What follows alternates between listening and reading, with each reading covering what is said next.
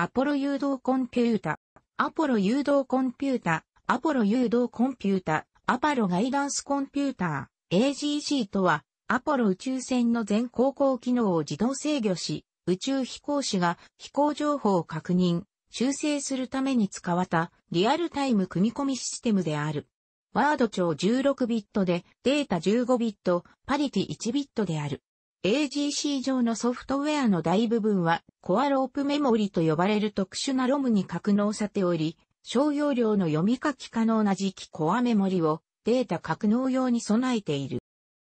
宇宙飛行士はダスキーと呼ばれる数値表示部とキーパッドから構成される装置で AGC とやり取りする。AGC とダスキーはアポロ計画のために MIT 機械工学研究所で開発された。AGC は初期の集積回路を採用したコンピュータの一つである。月への飛行には毎回2つの AGC を使った。一つは指令線で、もう一つは月着陸船で使われた。指令線の AGC は誘導、航行システム G&C の中央部にあった。月着陸船の AGC では、プライマリーガイダンス、ナビコントロールシステム、一時誘導、航行、制御システムが動作し、当時後、PGNCS をピングスと発音した。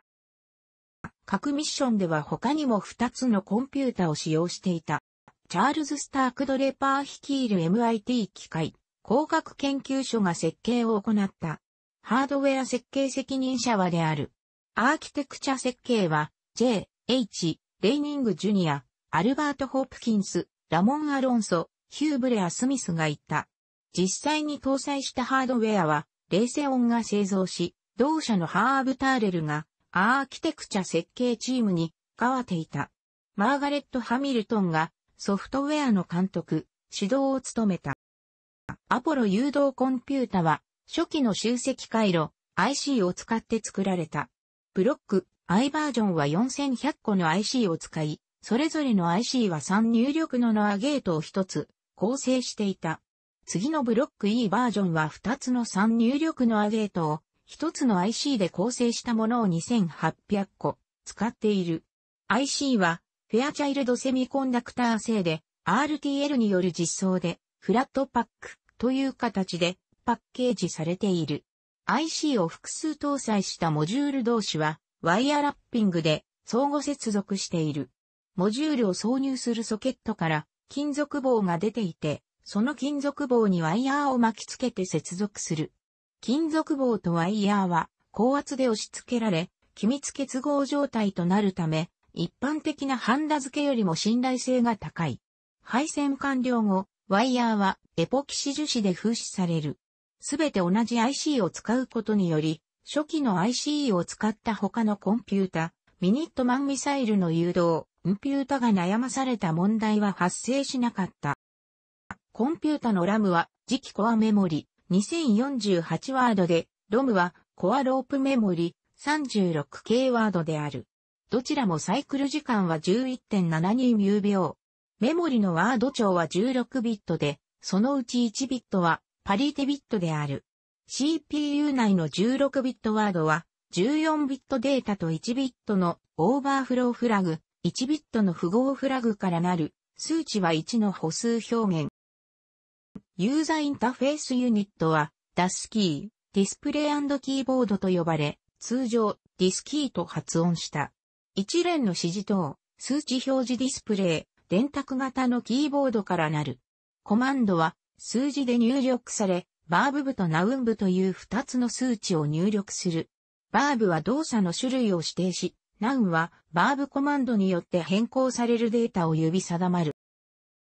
表示は光電圧エレクトロルミネセンスディスプレイであり、数字ごとにセブンセグメントで表示され、それを並べて数字列を表している。セグメントは電気機械式リレーで制御されるため、表示の更新速度が制限される。ブロック E ではもっと高速なシリコン制御整流機が使われている。産業の5桁の数字で8進数か10進数が表示される。この3つの数値で宇宙船の姿勢を表すベクトルを表示したり、必要な速度変化のベクトルを表示したりする。データは内部では国際単位系で保持されているが、表示は米国慣用単位、ヤードポンド法を使っている。この電卓型インターフェースは、このタイプのものとしては、世界初のデジタル制御パネである。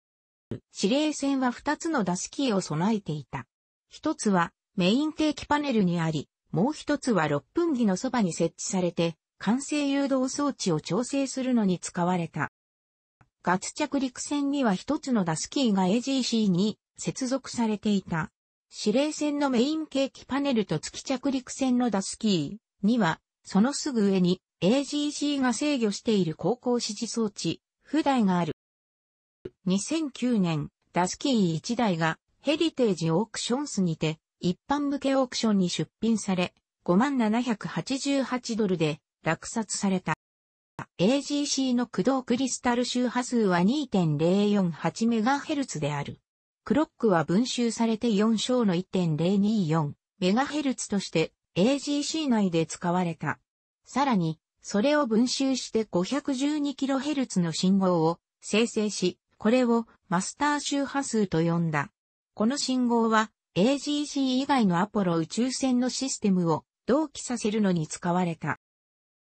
マスター周波数はさらに分集され5分の1の 102.4kHz の信号が作られる。これをさらに分集した F1、51.2kHz から F17、0.78125Hz の17種類の信号が作られる。F10、100Hz は AGC に戻され、リアルタイムクロックとピンク、口述を使った強制カウンターをインクリメントするのに使われる。F17 は AGC がスタンバイモードの場合に定期的に動作させるのに使われた。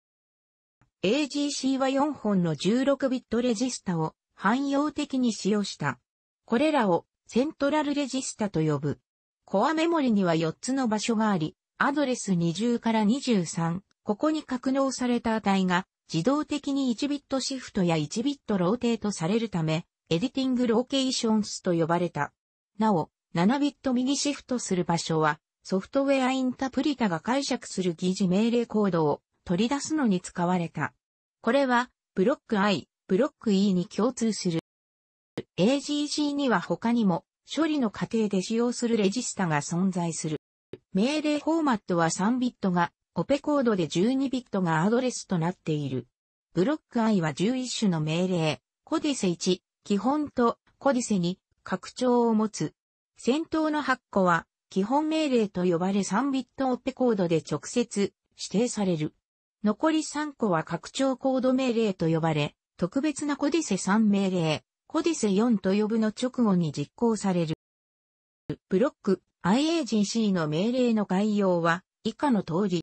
命令の実装はグループ化された12のステップでなされており、そのステップをタイミングパルスと呼ぶ。タイミングパルスは TP1 から TP12 まである。12のタイミングパルスのそれぞれのグループを命令のサブシーケンスと呼ぶ。TC 命令のような単純な命令では、12のタイミングパルスを一つのサブシーケンスとして実行する。複雑な命令ではいくつかのサブシーケンスを必要とする。乗算命令、コディセ38は8個のサブシーケンスを使用する。最初のサブシーケンスをコディセ42と呼び、次のコディセ43サブシーケンスは6回反復され、コディセ44サブシーケンスで完了する。ブロック E では、これが3サブシーケンスに短縮された。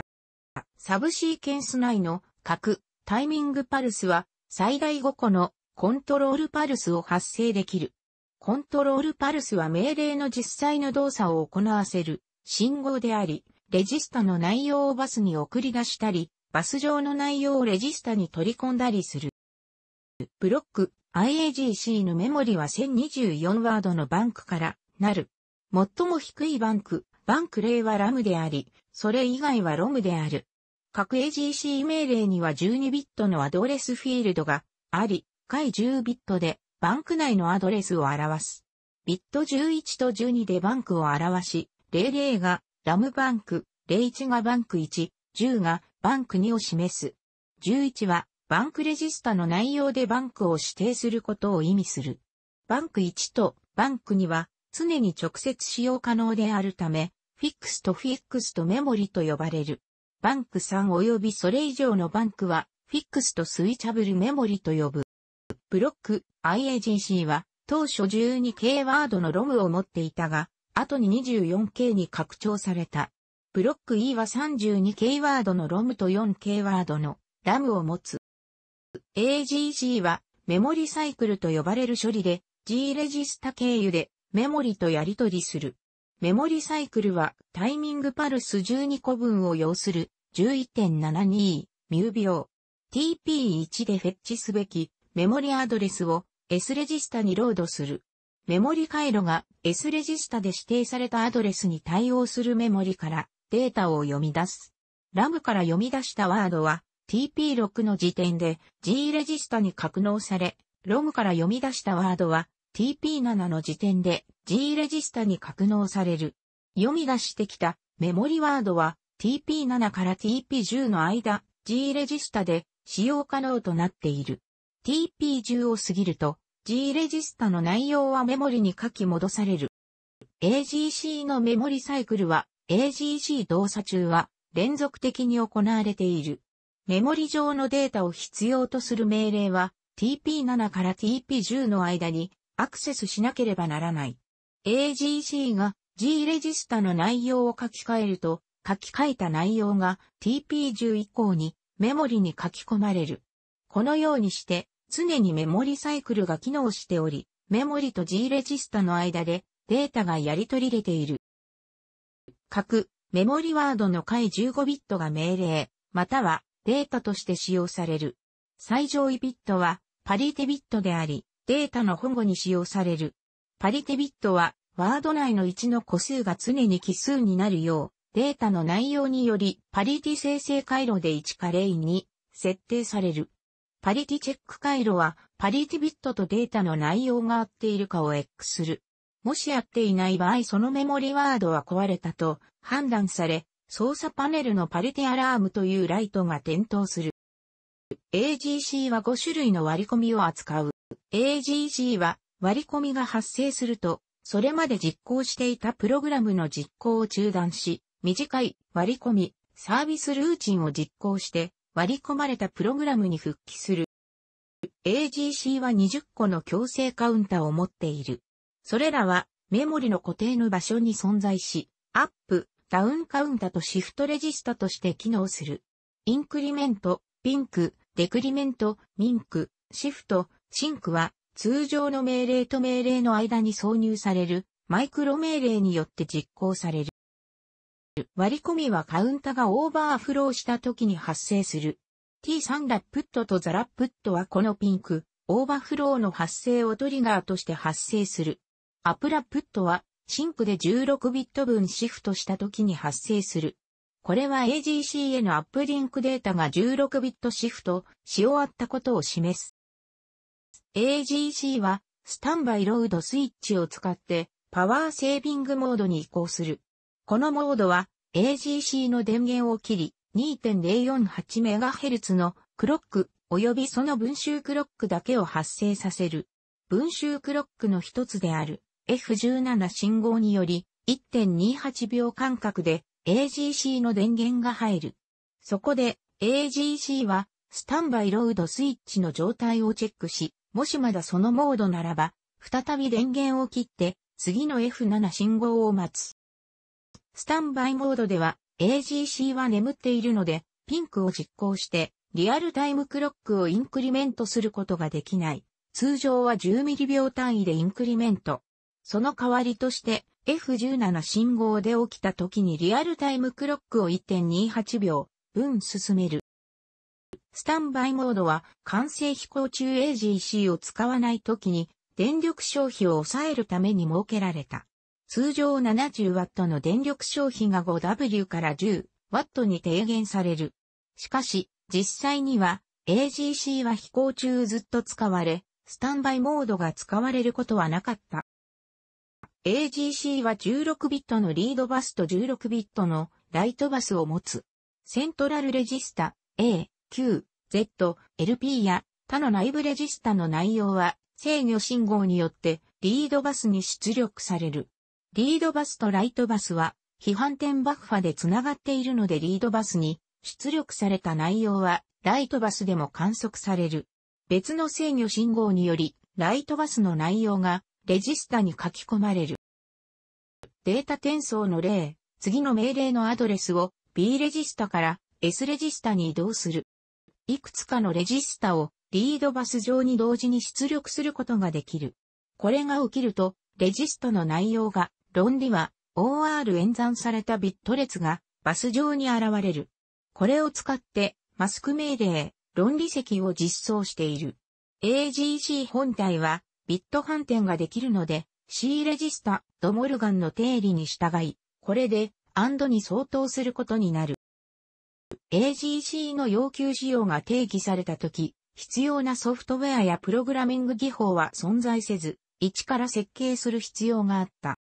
AGC のソフトウェアは AGC アセンブリ言語で書かれ、コアロープメモリに格納された。それは単純なリアルタイムオペレーティングシステムであり、最大8個のジョブをバッチジョブスケジューリングシステム XC で走行させることができる。これにはプリエンプティブでないマルチタスクが使われる各ジョブは定期的に XC に制御を戻す必要があり、優先度のより高いジョブが待ち状態になっていないかチェックされる。また、割り込み駆動型コンポーネントウェイトリストもあり、複数のタイマー駆動型タスクをスケジュールする。タスクは短いスレッドからなり、実行が終了するときにウェイトリストに自分を再実行してラウをスケジュールしてもらう。あるいは割り込み処理の中から X クに対してもっと長いジョブの実行を指示することもできる。X クのジョブは優先度制御される。最も優先度の低いダミージョブが常に存在している。ダミージョブが診断チェックを行い、 DSKY の Computer Activity という緑色ランプを制御する。ダミージョブが動作中ということは AGC が何もすることがないことを意味するので、そのランプは消灯される。ダミージョブは優先度の高いジョブがあると中断され、 Computer Activity ランプを点灯させる。AGC は MIT で開発された洗練されたソフトウェアインタプリタを持っていて、もっと複雑で使いやすいマシンを仮想的に実現している。これは8ビット以上の精度を必要とする高校計算で使われた。この仮想マシンは倍精度のスカラーとベクターを扱うことができ、さらには行列とベクトルの積を求めるコディセ45命令もあり、それらの命令を AGC 本来のコードに混ぜて使うことができる。それら疑似命令を使うと、インタプリタがそれを AGC の多数の命令に展開するため余計な時間がかかるが、コードに疑似命令を使うことで、プログラムの大きさを縮小する効果があった。当時はメモリ搭載量が何よりも大きな制限だったため、疑似命令はよく使われている。疑似命令の平均実行時間は24ミリ秒である。初期のプロトタイプであるクリスマスコンピューターのアセンブラ、ケンバージョン管理システムはユルと呼ばれ、ネイティブコードとインタープリタコードの正しい変換を行っていた。割り込みベースのユーザーインターフェースルーチング、ピンボールによってキーボードとディスプレイを制御する。ピンボールには宇宙飛行士が任意のアドレスのメモリの内容やレジスタの内容を8進または10進数で表示するための機能もある。モニター相当のルーチンもあるので、定期的に特定のメモリの内容を表示させることも可能である。ジョブを起動することもできる。ピンボールは大雑把に言ってしまえば、ユニックスのシェルと同じことができる。ソフトウェアの大部分は書き換えできないコアロープメモリに置かれていたが、重要な部分は読み書き可能な磁気コアメモリに置かれていた。このため、ダスキーインターフェースを使って宇宙飛行士がプログラムを上書きすることも可能であり、アポロ14号で実際にそれが行われた。ブロック E バージョンの AGC は1966年に設計された。ブロック I のアーキテクチャを踏襲したがラムを1、K ワードから 2K ワードに拡張している。ロムも 24K ワードから 36K ワードに拡張されている。命令も11種から34種に拡張され、ブロック I の入出力関連のレジスタ群が入出力チャンネルに置き換えられた。実際に最初に月まで行った AGC はブロック E である。ブロック I バージョンは無人飛行のアポロ4号から6号までと事故を起こしてキャンセルされたアポロ1号に装備されていた。ブロック E でメモリと命令セットを拡張することが決定されたが、ブロック I の制限の多い3ビットのオッペコードと12ビットアドレスという構成が変わらなかったのは興味深い。様々なトリックを使って命令が追加された。例えばある特定のメモリアドレスに参照アクセスすると特定の機能が動作するなどといったことである。実際、前述したように、アドレス25に対するコディセ3命令は、割り込みからの復帰を意味していた。同様に、コディセ37を実行すると、コディセ48命令、割り込み禁止を意味し、コディセ36は逆に割り込み許可、コディセ50を意味した。他の命令は特別なコディセ3命令であるコディセ4命令を使って実装された。コディセ4命令は、オーバーフロービットを使って3ビットのオペコードを拡張する。アドレス空間を拡張するために、バンク、固定と E バンク、拡張ラム用レジスタが使われた。ある時点でアクセスできるメモリバンクはこれらのレジスタを使わずにアクセスできる先頭の3バンクとバンクの指すバンクと E バンクの指すバンクだけであった。さらにバンクレジスタが指定できる範囲を超えてログが実装されたためにスバンクレジスタが最後の 4K ワードにアクセスするのに使われた。バンクをまたがるサブルーチンコールでは、一旦フィックスとフィックスとメモリを経由して、コール元のバンクをセーブ、リストアする必要があった。PGNCS はアポロ11号による最初の月への降下の際に動作不良となった。その時 AGC は1201アラーム、実行オーバーフローから空き領域なしと1202アラーム、実行オーバーフロー、コアセットなしを示していた。どちらの場合もレーダーから不正なデータが大量に送られてき、サイクルスチールが起きたことが原因で、降下の間はこれを放置した。エラーによりコンピュータ内の実行中タスクは中断されたが、レーダーの周波数データによれば、アボート信号が発生したのは CPU が処理しきれない頻度のデータが入ってきたためであることは明らかだった。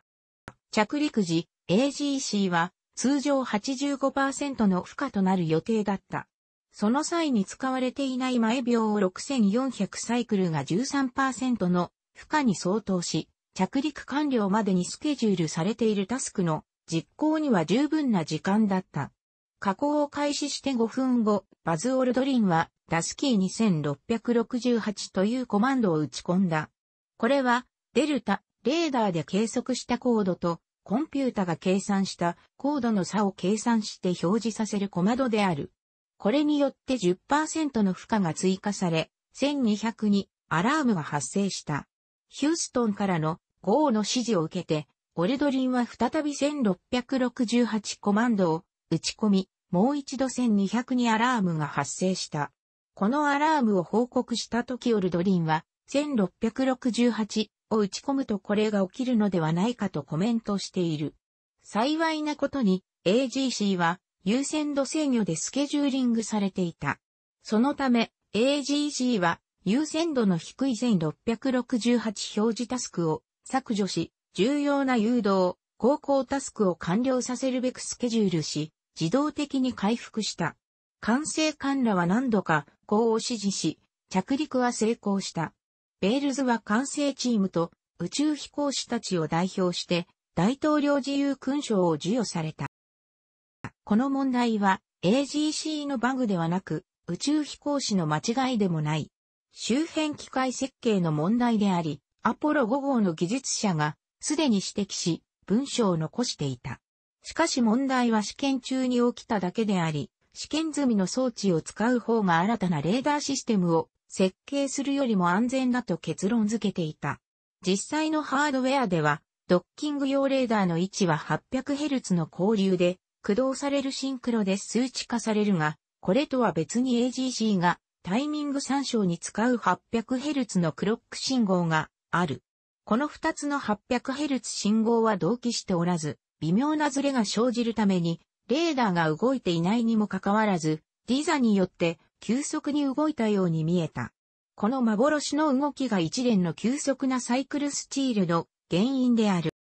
AGC は F-8 クルセーダーを使ったフライバイワイヤーシステム実証実験機でも使われた。AGC は計画の第1段階で使われ、第2段階では別のシステムに置換されている。この研究成果がスペースシャトルのフライバイワイヤシステム開発に活かされた。また間接的には当時開発されていた次世代戦闘機のフライバイワイヤシステムの開発にも貢献してる。AGC はアメリカ海軍の深海救難艇でも使われた。AGC 及びその開発に関する文書。AGC ハードウェア設計、特に集積回路の採用に関する文書。AGC ソフトウェアに関する文書。AGC を再現するプロジェクトやシミュレーター。楽しくご覧になりましたら、購読と良いです。クリックしてください。